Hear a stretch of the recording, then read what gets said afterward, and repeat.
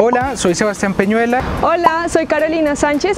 En Tenemos que hablar Colombia hicimos Diálogo de Diálogos, un ejercicio para identificar iniciativas que se activaron o reactivaron a raíz del paro nacional de 2021, con el propósito de buscar alternativas a la crisis y el descontento ciudadano. Identificamos 62 ejercicios de distinta naturaleza.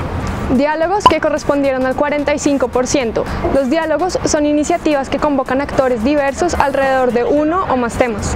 Se concentran en el reconocimiento de la diversidad de posturas, el robustecimiento de argumentos, la transformación de relaciones y la concertación de propuestas. Las negociaciones se llevaron el 34%. Las negociaciones son ejercicios en que se convocan a sectores ciudadanos específicos alrededor de uno o varios conflictos.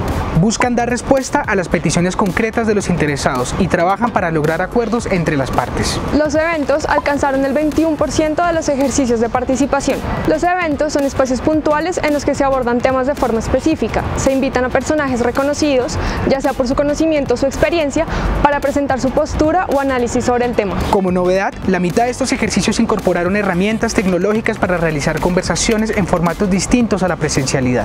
En sintonía con las movilizaciones, las iniciativas identificadas en diálogos de diálogo muestran la gran cantidad de asuntos que preocupan a la ciudadanía, como el desarrollo económico, el Estado, la democracia, la institucionalidad, la movilización social y la educación.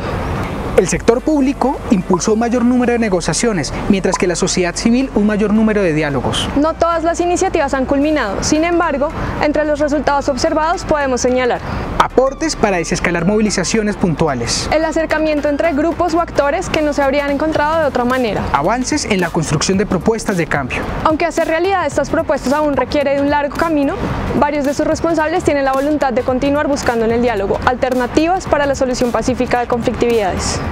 Conoce más en tenemosquehablarcolombia.com y espera pronto los resultados del informe, donde contaremos los anhelos, ideas y apuestas de un país solidario que decidió sentarse a dialogar.